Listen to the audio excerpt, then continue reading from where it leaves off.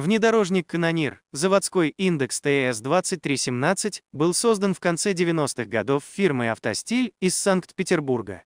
На узлы и агрегаты серийных моделей устанавливалась пространственная рама, на которую навешивались стеклопластиковые панели кузова.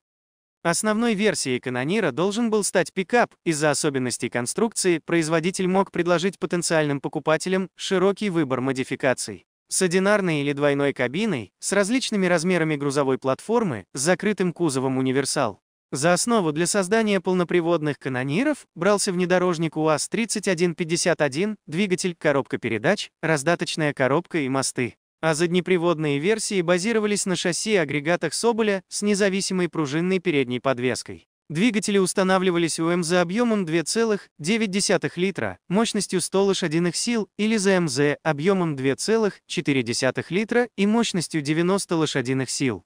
Руководители автостиля планировали организовать мелкосерийное производство пикапов и внедорожников совместно с Кировским заводом. Отдельное сборочное производство также было организовано в Анжеро-Сунжинске Кемеровской области. Однако было сделано не более нескольких десятков канониров, и в 2003 году проект был окончательно закрыт. Если вам понравилось данное видео, не забудьте поставить лайк, подпишитесь на канал и нажмите на колокольчик, чтобы быть в курсе новых видео.